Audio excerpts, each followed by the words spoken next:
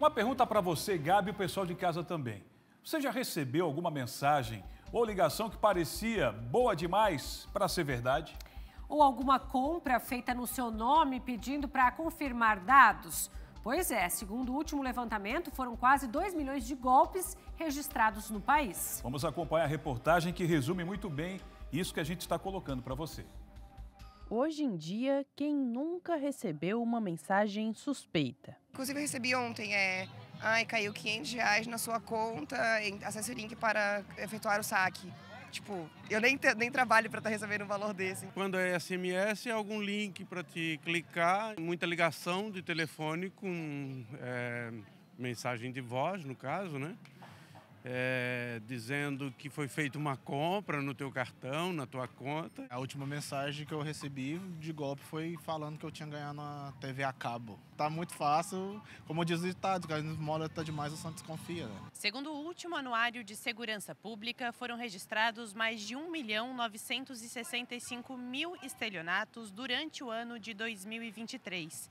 Isso significa que alguém sofreu um golpe a cada 16 segundos no país, sem contar os que não foram registrados. E Santa Catarina lidera o ranking dos casos eletrônicos. Mais de 64.400 estelionatos virtuais foram contabilizados aqui no estado. A Mariana já entrou na estatística de 2024. Há dois anos, ela aluga um imóvel em uma imobiliária na capital e todos os meses recebe boleto pelo WhatsApp e por e-mail. Mas neste mês, ela teve uma surpresa. O número oficial deles ali, eu vi que não era nada de golpe, assim, né? Era o número oficial, tanto no e-mail, chega normal com dizendo da onde que era da imobiliária, e no WhatsApp a mesma coisa. Paguei no dia 6 o boleto e depois, no caso, uma semana depois, a imobiliária entrou em contato comigo dizendo que o boleto não tinha sido pago.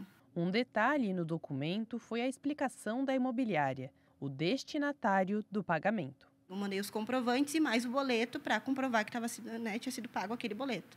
E daí foi que ela me avisou que o destinatário que estava ali no, no pagamento não estava imobiliária e sim o mercado pago. Então, aí que eu vi que, no caso, eles falaram que eu tinha caído numa fraude, né? Enfim. Mariana registrou um boletim de ocorrência na Delegacia Especializada em Crimes Virtuais.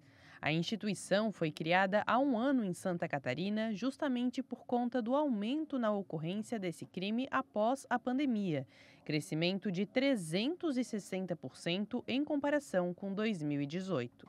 Nós detectamos nesse, nesse, nesse ano em que a gente mapeou é, os crimes aqui na capital, que tem é, grandes incidências aí de, de fraudes envolvendo sites fraudulentos, é, envolvendo também aqueles golpes da tabela Pix, que a pessoa é, é arregimentada para realizar um determinado trabalho aí pela internet e acha que vai ganhar dinheiro com aquilo, então ela é, inicialmente deposita uma determinada quantia e aí ela recebe realmente de volta uma quantia com lucro e eles vão dessa forma é, induzindo a pessoa a erro é, para que ela deposite quantias maiores, né?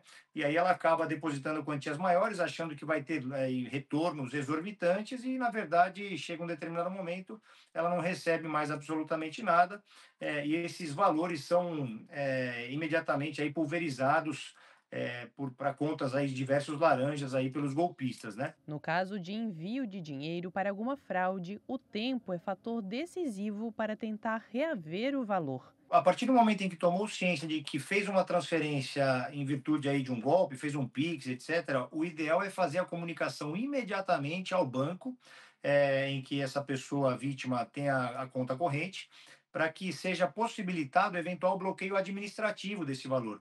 Quanto mais rápido for é, a ação da vítima, no sentido de comunicar a fraude ao banco, ao seu próprio banco, maiores as chances que ela tem de que aquele valor seja bloqueado administrativamente e ela consiga reavê-lo por meio do chamado MED, né, que é o mecanismo especial de devolução. Depois, é importante registrar a ocorrência na Polícia Civil para que uma investigação possa ser realizada.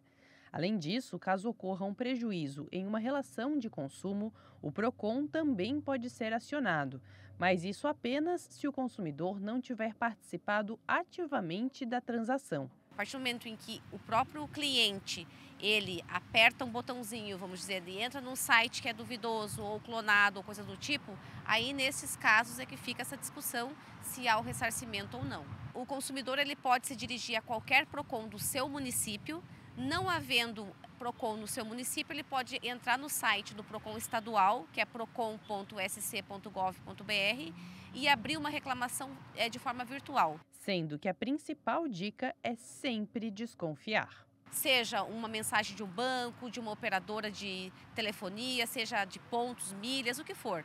Confirmem antes de clicar ou apertar o botãozinho. Fraudes aí com sites, é, enfim, eles, eles, eles fazem um site fraudulento muito parecido com o verdadeiro. Então é importante que a população se atente para o URL, para o domínio ali do site que ela está acessando, é, porque essa é uma forma dela detectar se de fato ela está acessando o site oficial ou não, né? Os bancos, é, eles não, não, não solicitam é, dados pessoais de senha é, ou procedimentos por meio é, de ligações telefônicas, né? Os, gol, os golpistas muitas vezes se utilizam inclusive de logotipos do próprio banco.